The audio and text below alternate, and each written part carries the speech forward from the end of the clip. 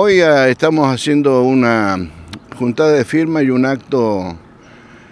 reivindicativo a todo lo que está ocurriendo con esto, ¿no? De que hace seis meses han bloqueado los sueldos de los maestros educadores de las escuelas sociales en un claro rechazo a, nuestra posición de tener un salario digno, con esto de que no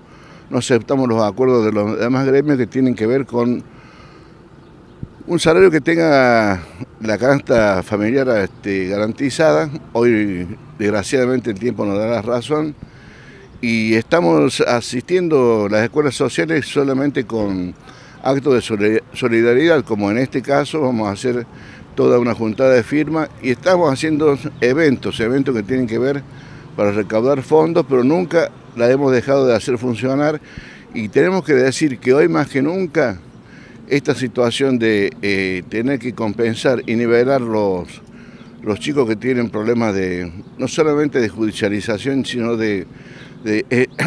entendimiento pedagógico, este, se está llenando, se está aumentando la matrícula y eso lo tenemos que asistir y atender en forma inmediata, no solamente en lo gremial, sino también en lo pedagógico por parte del gobierno que estamos haciendo esta demanda. ¿Esta situación es provincial o es nacional?